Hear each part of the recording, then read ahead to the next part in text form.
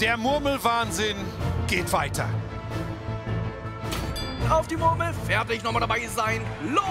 Drei Prominente in bester Murmellaune. Ja!